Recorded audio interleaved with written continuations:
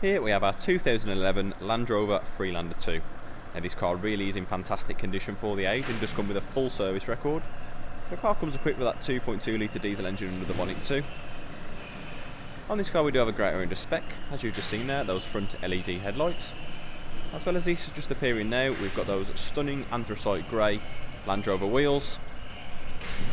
Those are all in fantastic condition as you can see and really do set the car off. Moving around to the side again, we've got the side step there, which is a nice addition to these, just for easy getting in and out of, as well as obviously the aesthetic appearance. Onto the rear of the vehicle, we do have the Freelander 2 badge in there. Popping on the tailgate, you do get a very generous boot space with these. As you can see there, you've got your 12 volt socket in the back too.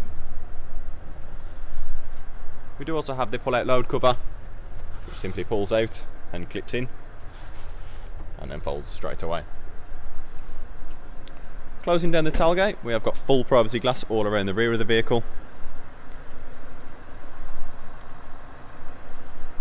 As well as your Land Rover badging on either side there. Again, we've got those side steps and those stunning grey alloy wheels. Again, in fantastic condition for the age and really do set the car off. Moving inside the vehicle, we have got a full black leather interior throughout. We've also got the cream leather accents through the middle. These seats really are in fantastic condition for the age.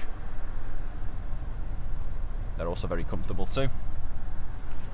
We do also have the addition of the pull down armrest in the middle seat with your extra cup holder storage as well as any further storage there.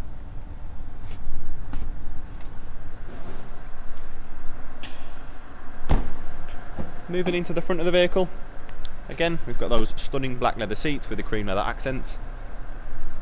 Both the driver and the passenger side seat again are in fantastic condition.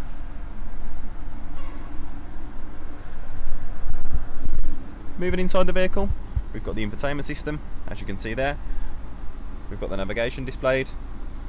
Further on down you've got all the controls for the radio, as well as all your climate the car also does come equipped with the heated seats.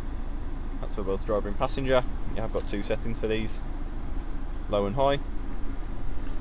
Down below you've got all your controls for the four-wheel drive. As well as this, the car does come equipped with start-stop. There's simply one click on there to turn the engine off, and another to start it back up again. Steering wheel also is multifunction, control all your radio as well as your cruise control off this too. Car does come equipped with the Alpine upgraded sound system too. Now as we move back round to the exterior of the vehicle, if you are interested in this particular car or any other ones that you have seen on our website, please feel free to call us on 0121 313 1555 or alternatively sales at theroxburghegroup.com. Cheers guys!